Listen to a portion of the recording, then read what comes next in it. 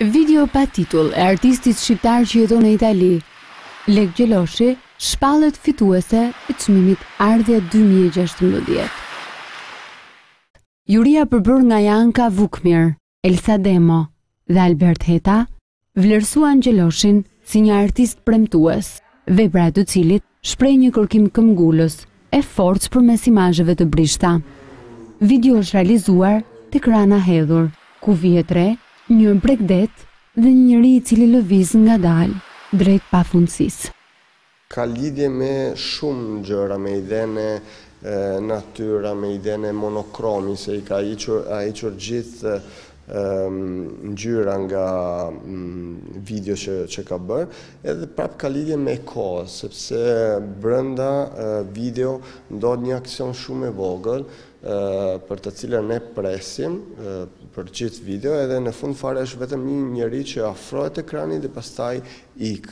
Nga ekrani, zhduket nga ekrani, është një lloj tregimi edhe i njerëzimi që ne jemi në në tokë për një periudhë të caktuar dhe pastaj zhdukemi, ndërsa toka vazhdon të të mbijeton neve në në një farë mënyre. Shqetësimet e shoqërisë shqiptare mbizotëronin punët e këtij viti. Sipas kuratorit Stefano Romano.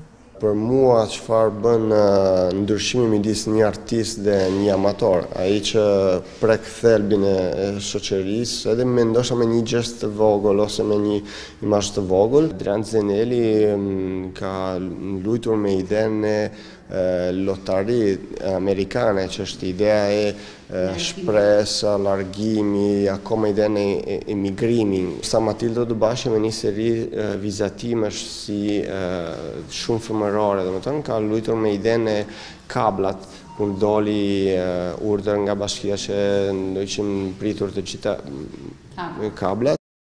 Artistja Donika Çina, në qendër, ka vënë pemën e familjes, ku përfshin njëqind vite dhe katër breza, përmes rrëfimeve të tyre.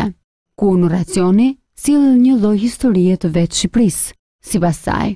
Intervista spontane dhe janë këto intervista njëra pas tjetrës që ndërtojnë storyboard-in e të gjithë pjesës. Ka lidhje me historinë, ka lidhje me me copëza copëza të historisë që bashkohen dhe tregojnë një të madhe, ka lidhje me uh, këndvështrimet e ndryshme që secili ka mbi atë që ka ndodhur.